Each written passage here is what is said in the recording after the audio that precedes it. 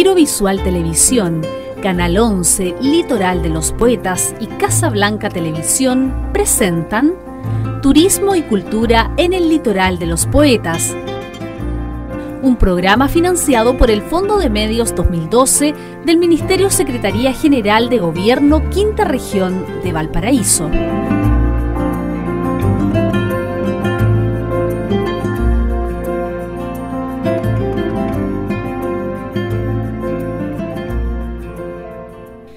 Historia del Quisco. El Quisco ha tenido un desarrollo mayor en el siglo XX, fundamentalmente como sitio de recreación y de residencia de importantes figuras chilenas de las artes y de la cultura, pero pocos conocen su pasado. Las primeras ocupaciones humanas probablemente están en relación con el fin de la última glaciación, hace 11.000 años. La línea de costa estaba aproximadamente 100 metros más abajo, así que de existir asentamientos humanos estarían ocultos bajo el mar. Desde el siglo VII a.C. han existido culturas en la zona como la cultura Bato, Yoyeo o Aconcagua. Posteriormente han sido ocupaciones Chango o Promaucae. El primer europeo en la zona fue Gómez de Alvarado y Contreras, siguiendo los caminos del Inca, en especial el costero, entre los Mitimaes de Quillota y Talagante. De ahí siguió por la cordillera de la costa, en la zona de Lagunillas, bajó por el estero de Córdoba hasta el mar en Isla Negra, en donde siguió la costa hasta la zona del actual Algarrobo y el Quisco. En este balneario surgió la leyenda del pie de la princesa. Después visitó la zona Ginés de Lillo, desde 1578, junto con la vecina Algarrobo y el Canelo, fueron lugar de escondite de piratas como los ingleses Francis Drake, Thomas Cavendish y Richard Hankins, y holandeses como Oliver van Noort y Joris van Spielberger. Francis Drake habría estado con su galeón Golden Hank en su bahía en diciembre de 1578. Viajó con los japoneses que se conocen solo por sus nombres cristianos, Christopher y Cosmas, quienes fueron los primeros japoneses en casi circunnavegar el globo terráqueo. Entre las personalidades de servicio público que llevaron adelante la idea de transformar a la Junta de Vecinos del Quisco, dependiente de la ilustre municipalidad de Algarrobo, en comuna El Quisco, se puede destacar el nombre del señor Isidoro Duburné, quien fue regidor de la Municipalidad de Algarrobo y presidente de la Junta de Vecinos del Quisco. De allí que la avenida principal que estructura la red vial de la comuna lleva hoy su nombre, como homenaje a su gestión de servicio y desarrollo por la comuna. La comuna del Quisco se constituye como tal un día 30 de agosto de 1956, bajo la presidencia de Carlos Ibáñez del Campo, bajo decreto ley número 12.110. Después de ser creada la comuna, muchas familias migraron haciendo de este un lugar preferido de veraneo. Después del golpe de Estado de 1973, empiezan a llegar colonias militares, instalándose en sitios como el antiguo Hotel Italia.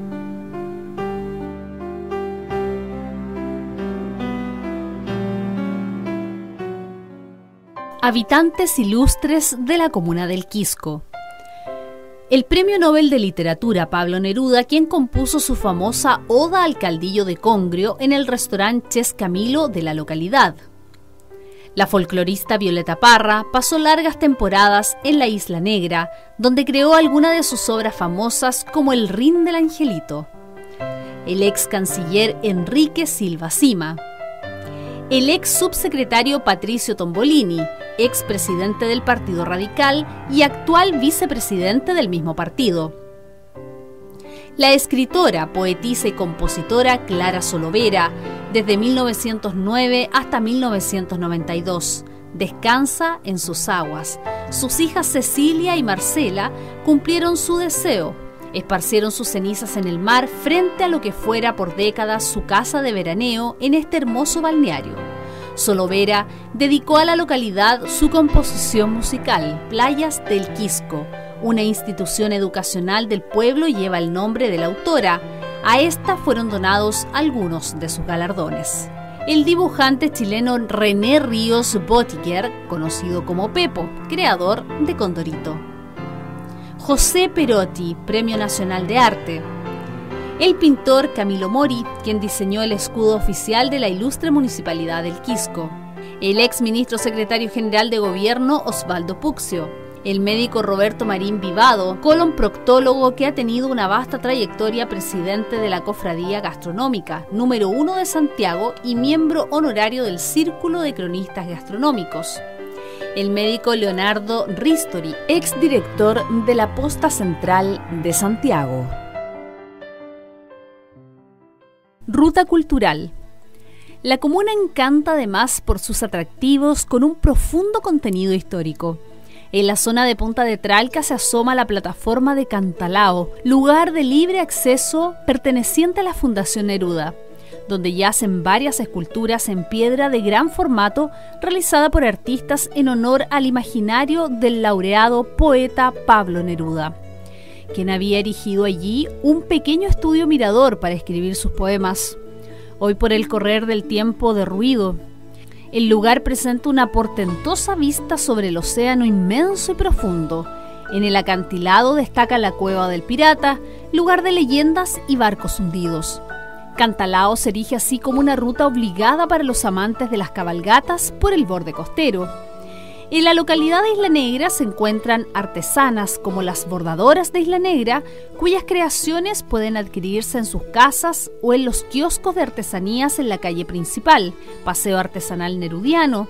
En el sector de la Plaza Eladio Sobrino existe un centro artesanal aledaño a la Casa Museo Pablo Neruda y el sector costero de Isla Negra ha sido declarada zona típica para mantener el entorno de la casa. Desde la playa y por los caminos interiores es posible admirar un modo de habitar de indiscutible armonía a escala humana.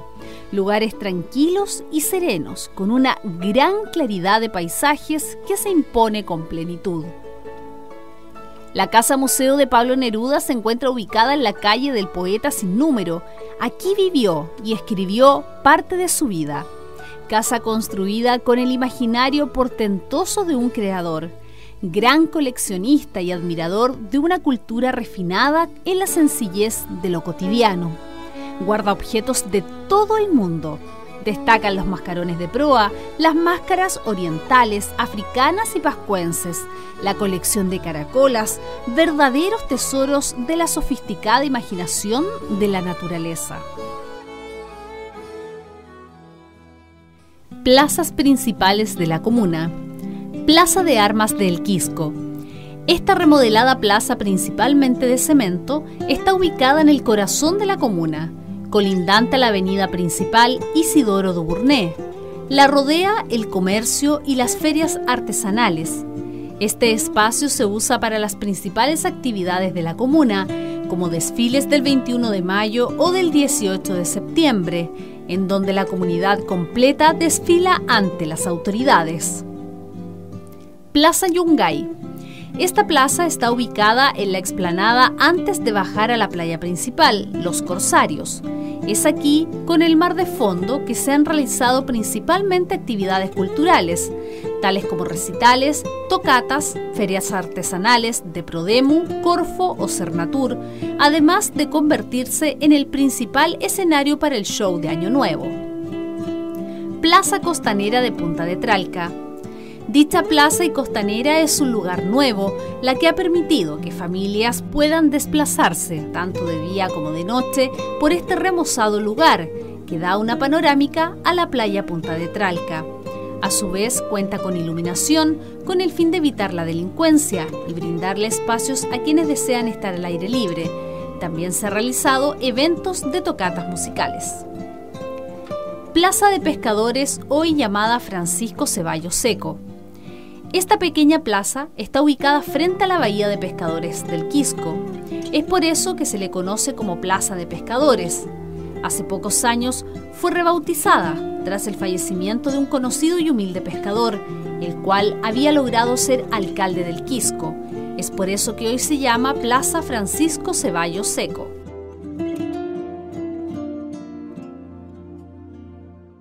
Quebrada Las Petras Esta quebrada se encuentra ubicada en el límite de la comuna de El Quisco con la vecina comuna de Algarrobo.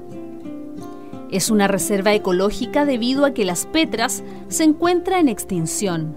La quebrada posee eucaliptus de unos 60 años de vida. También contempla zonas de agrupación de pinos insigne y en forma secundaria se puede encontrar acacio australiano y aromo del país mientras que entre las especies nativas se observan molles, boldos, maquis, pataguas, petras, cactáceas, que es el quisco de la costa, litres, peumos, epifitas, enredaderas arbóreas, bromeláceas, otras arbustivas menores y numerosos herbáceos.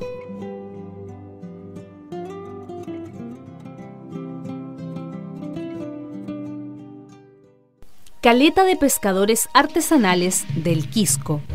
La caleta de pescadores artesanales se encuentra ubicada en Miramar sin número, comuna del Quisco, en pleno borde costero hacia el sur de la playa Los Corsarios. Aquí se expenden productos frescos del mar.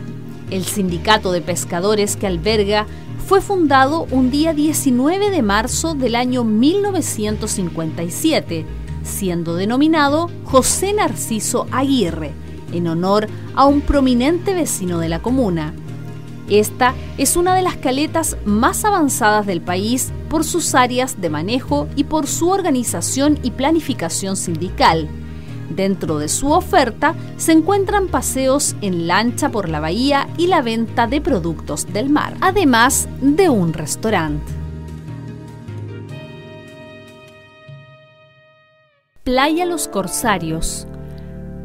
Conocida popularmente como la playa principal de la comuna del Quisco, es una de las más bellas del litoral que se caracteriza por sus arenas blancas.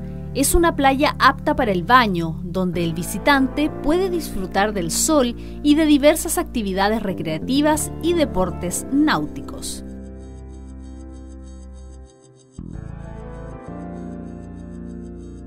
Playa Angaroa y Las Conchitas. De estas playas se destacan sus roqueríos y arenas blancas, pobladas antaño de lobos marinos. La playa Las Conchitas atrae principalmente a la familia y los más pequeñitos debido a su variedad de pozas que invitan al disfrute tranquilo de sus aguas. Playa Angaroa, por su parte, es dueña de una gran belleza escénica, playa no apta para el baño, pero con una puesta de sol maravillosa para los que disfrutan de la tranquilidad y el descanso. En su lado norte se levanta un imponente rompeolas que atrae a caminantes a la hora del atardecer.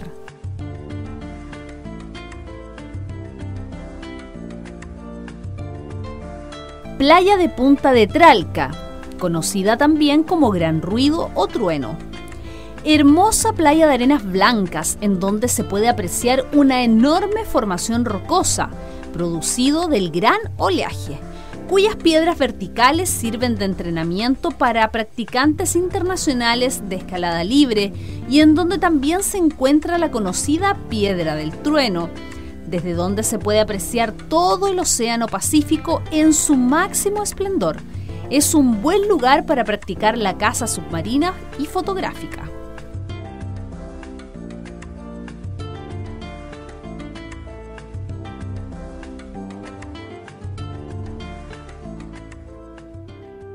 Seminario Pontificio de Punta de Tralca.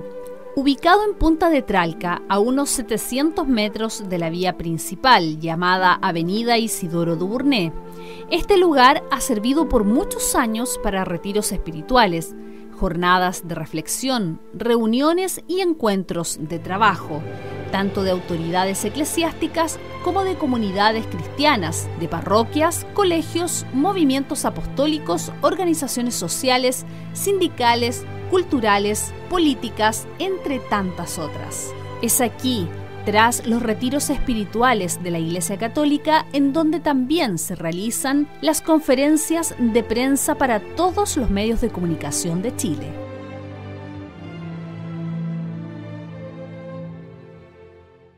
Mirador de Cantalao. Se encuentra ubicada en el extremo sur de Playa Punta de Tralca, terreno perteneciente a la Fundación Neruda. que posee una espectacular vista panorámica hacia el océano. En él se emplazan una serie de esculturas con gran formato rocoso, hecha en homenaje a Neruda, y los cimientos de una cabaña que él construyó, la que fue derruida por el correr de los años.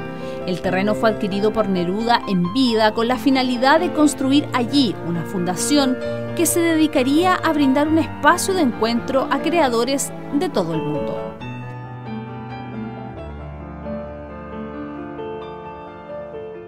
Casa Museo de Pablo Neruda en Isla Negra. Por la potencia evocadora de los objetos que guarda y por su entorno dominado por la presencia del mar, la Casa de Isla Negra es una especie de compendio visual y material del imaginario poético de Neruda. El lugar se llamaba originalmente Las Gaviotas. El poeta lo rebautizó como Isla Negra por el color de sus roqueríos y quizás porque ahí podía aislarse para escribir. Al regresar de Europa a Chile en 1937 buscaba un lugar para dedicarse a su canto general, un gran libro sobre la historia y la naturaleza americana.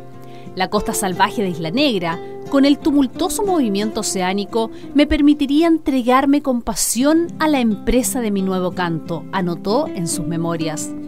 Era a media tarde, llegamos a caballo por aquellas soledades, recuerda el poeta en su libro, Una casa en la arena, Don Eladio iba adelante, vadeando el estero de Córdoba. Por primera vez sentí como una punzada este olor a invierno marino mezclada de boldo y arena salada, algas y cardos.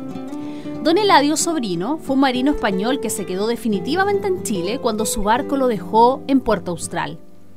Él le vendió a Neruda en 1938 el sitio con una cabaña de piedra Luego, como escribió el poeta, la casa fue creciendo como la gente, como los árboles. En el invierno de 1943, con el arquitecto catalán Germán Rodríguez Arias, el poeta inició una serie de ampliaciones que terminaron en marzo de 1945. En ese tiempo no era fácil construir en aquella zona. Había que transportar todos los materiales en carretas de bueyes que debían cruzar por vados el estero de Córdoba. La casa de Isla Negra está inserta en el paisaje costero. Allí el mar con su oleaje rompientes, playa y roqueríos reactualizaba la enorme impresión que el poeta tuvo cuando siendo niño se enfrentó por primera vez al océano en Puerto Varas. Luego el mar se convertiría en uno de los escenarios míticos de su poesía. Las colecciones más importantes que se conservan en esta casa se vinculan con el mar. Mascarones de proa, réplicas de veleros, barcos dentro de botellas, caracolas marinas, dientes de cachalote y hay también espacios que conmemoran su amistad con algunos poetas muertos, cuyos nombres hizo grabar en las vigas del bar. También se muestra a los visitantes otras colecciones, como las de las botellas de formas extrañas, máscaras, zapatos antiguos y pipas. El arquitecto y amigo de Neruda, Sergio Sosa, proyectó nuevas ampliaciones a partir de 1965, los arcos que unen los cuerpos de la casa y los recintos que albergan la sala del caballo y la covacha. Este era un espacio en el que el poeta se recluía a escribir. Le puso techo de zinc para escuchar el canto de la lluvia y evocar nuevamente las sensaciones de la casa que habitó en su niñez en el lluvioso sur de Chile. En la Casa de Isla Negra, Neruda escribió parte importante de su obra literaria, reunió allí la mayoría de sus libros y también ejerció la hospitalidad, que es otro de los legados de su infancia sureña. El poeta siempre festejaba las fiestas patrias, a pesar de la situación que vivía el país, luego del golpe de Estado el 18 de septiembre de 1973, llegaron algunos amigos hasta Isla Negra, pero solo traían noticias alarmantes. Al día siguiente, Neruda, ya gravemente enfermo, fue llevado en ambulancia a la capital, desde donde solo volvería a Isla Negra en diciembre de 1992, cuando sus restos fueron trasladados allí, junto a los de su esposa, Matilde Urrutia. Este funeral se realizó con todos los honores que merecía el poeta y con asistencia de las máximas autoridades de la nación. Se cumplió así la voluntad que Neruda había expresado hacia casi 50 años en su poema Disposiciones de Canto General. Compañeros, enterradme en Isla Negra, frente al mar que conozco, a cada área rugosa de piedras y de olas que mis ojos perdidos no volverán a ver.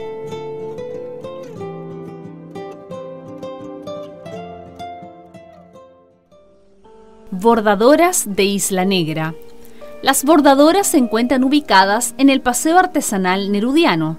Su origen se remonta al año 1966, cuando motivadas por la señora Leonor Sobrino, vecina del pueblito, quien les instó a realizar esta técnica artesanal en la que se representa la cotidianeidad de los lugareños.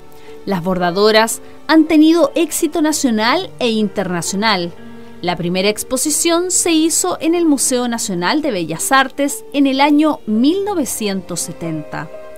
En el exterior han expuesto en París, Sao Paulo y en 1975 exponen en el Metropolitan Museum of Art en Miami y en el Museo de Athénée en Ginebra.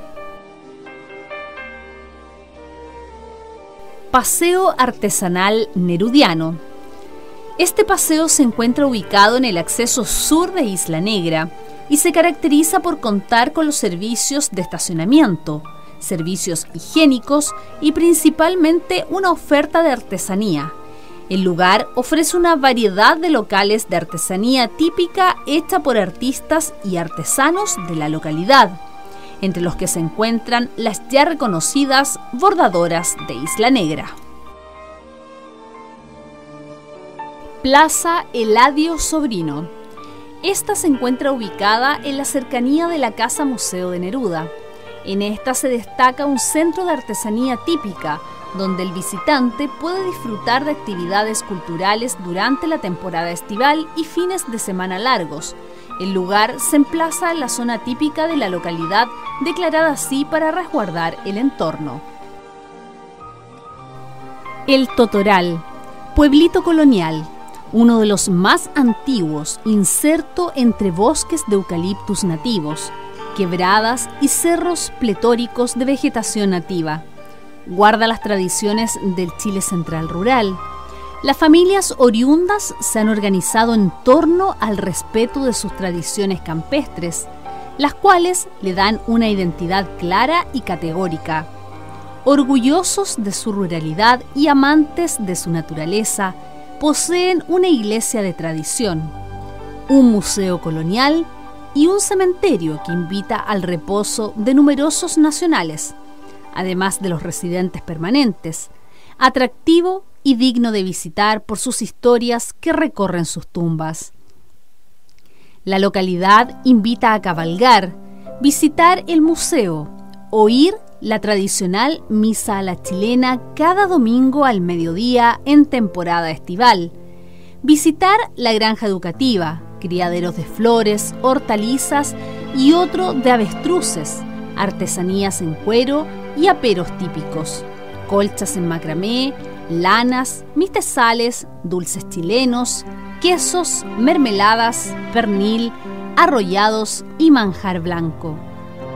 En la localidad se celebra y se venera la fiesta de la Virgen de la Merced cada 24 de septiembre y el último domingo de mayo la comunidad invita a una atractiva fiesta costumbrista donde el visitante puede encontrar vestimentas y atuendos típicos, comida típica chilena y disfrutar de toda la historia de nuestro patrimonio cultural en el sector del Totoral de la comuna del Quisco. Cementerio El Totoral. Ubicado a un costado de la iglesia El Totoral, invita al reposo de numerosos nacionales, además de los residentes permanentes. Este es un atractivo digno de visitar por las numerosas historias que recorren sus tumbas, debido a sus antiguas lápidas que existen desde el siglo pasado es el cementerio más antiguo de la provincia de San Antonio y como bien mencionábamos, ha invitado al reposo de destacadas figuras a nivel nacional que nos han dejado.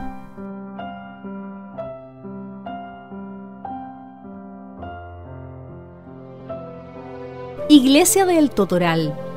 Iglesia colonial que data de 1815, cuya patrona es la Virgen de la Merced, la cual es venerada cada 24 de septiembre a través de una gran festividad religiosa, ya tradicional en la localidad rural.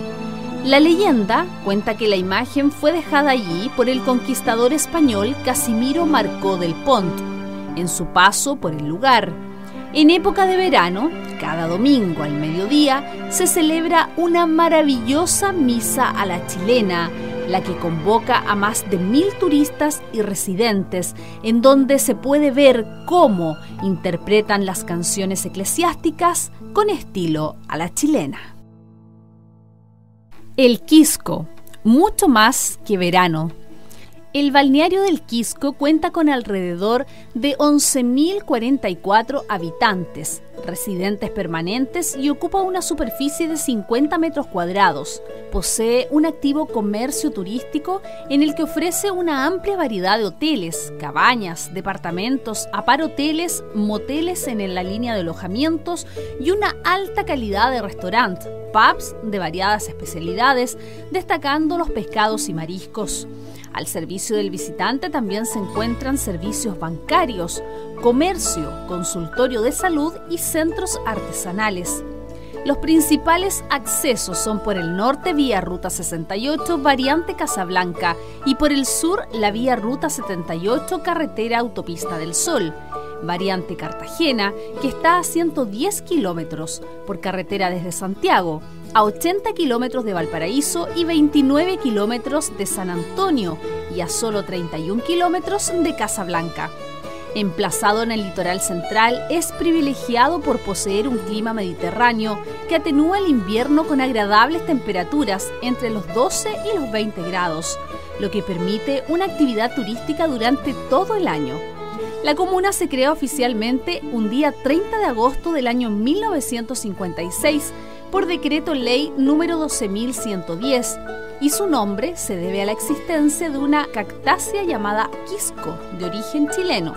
Esta comuna se divide en cuatro localidades bien definidas, el Quisco Balneario, Punta de Tralca, Isla Negra y el sector rural de El Totoral.